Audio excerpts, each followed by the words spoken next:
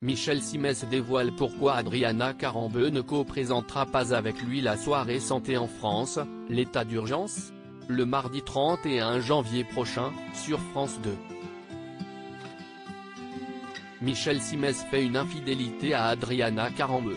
Le mardi 31 janvier prochain, le médecin le plus célèbre du paysage audiovisuel revient en prime time, sur France 2, pour une grande soirée intitulée Santé en France, l'état d'urgence Un documentaire consacré à la situation du milieu médical dans le pays, suivi d'un débat, qu'il présentera en duo.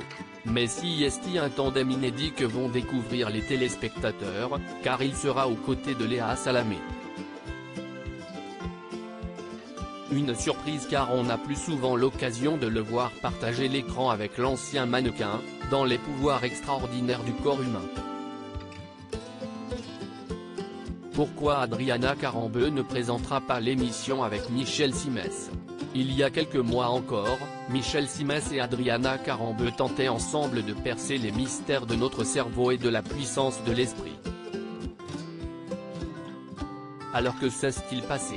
Interrogé par nos confrères de Télé 7 jours, cette semaine, le célèbre docteur préfère tout d'abord rassurer, il n'y a aucun souci avec Adriana, avant d'expliquer la raison pour laquelle il change, exceptionnellement, de partenaire, mais comme nous accueillerons, en direct, des politiques, Léa est ultra compétente en la matière, a-t-il, logiquement, justifié la présence de l'intervieweuse de France Inter.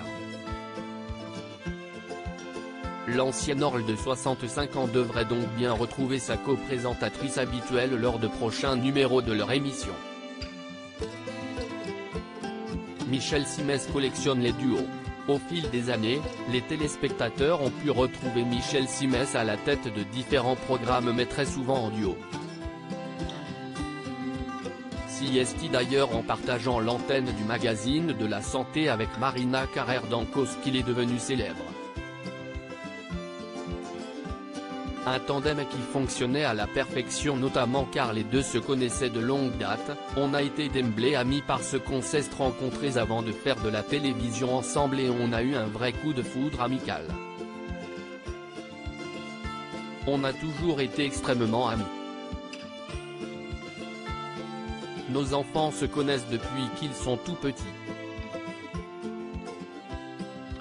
On a vécu tous les deux des choses difficiles et on s'est épaulé pendant 30 ans avec ça, avait expliqué l'animatrice de France 5, dans Chez Jordan. À lire aussi les pouvoirs extraordinaires du corps humain, Adriana Carambeu très mal à l'aise lors d'une expérience de drague virtuelle.